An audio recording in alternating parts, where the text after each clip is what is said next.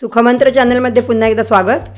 आज तुम्हाला मी अशी रेसिपी दाखवणार आहे जी झटपट होईल आणि पुरुष माणसंसुद्धा वेळे वेळेला करू शकतात. जर बाई माणसं घरात नसली तर तोंडी लावणं म्हणून पटकन करण्याची गोष्ट मी तुम्हाला आज दाखवणार आहे. त्यासाठी आपल्याला लागणार आहे बेसन लसणी चार पाकळ्या कांदा कढीपत्ता कोथिंबीर. ओला नारळ तुमच्या आवडीप्रमाणे पाहिजे असेल तर घाला नको असेल तर नाही घातलं तरी चालेल. कांदा बारीक चिरून घ्यायचा आहे. असं संपूर्ण साहित्य बारीक चिरून घ्यायचं आहे तव्यावरती दोन पळ्या तेल घालायचं आहे जी आपण रेसिपी करणार आहोत त्याला थोडंसं तेल जास्ती लागतं.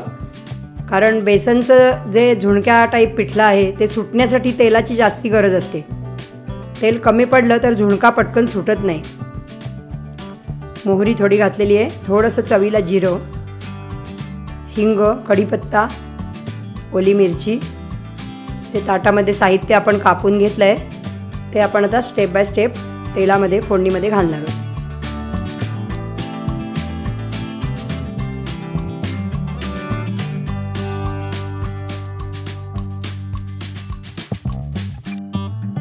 इथे मिरच्या घातलेल्या आहेत आणि तरीसुद्धा मी थोडंसं लाल तिखट घातलं आहे कारण थोडा झुणक्याला एक वेगळ्या प्रकारचा रंग येण्यासाठी लाल तिखटाचा वापर करणं गरजेचं असतं. ओल्या मिरचीची चव आणि लाल तिखटाचा रंग असा मिळून झुणक्याला एक सुंदर असा रंग येतो. हे सगळं मटेरियल आहे जे ते परतून घ्यायचं आहे बारीक चिरलेला कांदा फोडणीवरती परतण्यासाठी घालायचा आहे चांगल्यापैकी गुलाबी कांदा होईपर्यंत परतायचा आहे त्याला आता. तवा तुमच्याकडे जर थोडासा खोलगट आकाराचा असेल तर त्याच्यामध्ये पिठलं अजून छान होतं.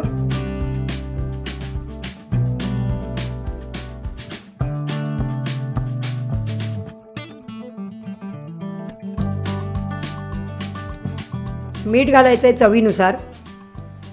आणि कांदा असा गुलबट करून घ्यायचा आहे चांगला.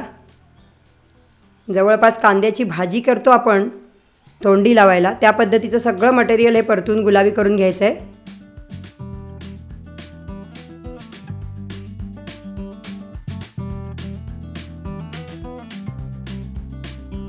आपण जे पिठलं करायसाठी आम आपण जे पीठ भिजवलं होतं पातेलीमध्ये तर त्यातलं आता थोडं थोडं घालायला सुरुवात करायची.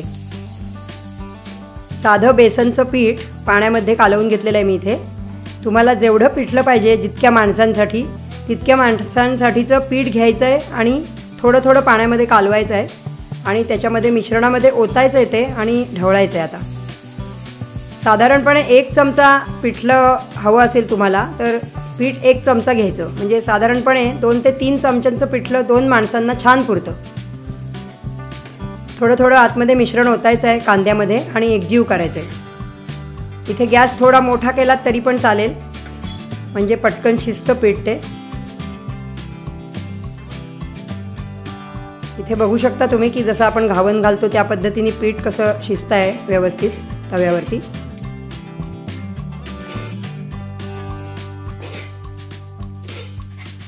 इथे संपूर्ण पीठ आता मी ओतणार आहे त्याच्यामध्ये. आणि सगळं आळलेलं आहे पीठ ओतलेलं आहे ते. घट्ट पिठलं तयार झालेलं आहे.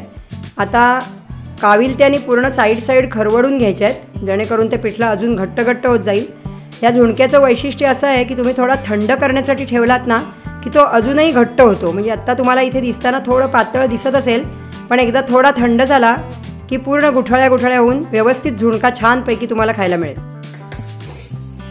ज्या दिवशी भाजी नसेल बिलकुलच आणि काही सुचतच नसेल की जेवायला काय करावं त्या दिवशी पुरुषांनी सुद्धा पटकन करून खाण्याचा सुंदर पदार्थ आहे हा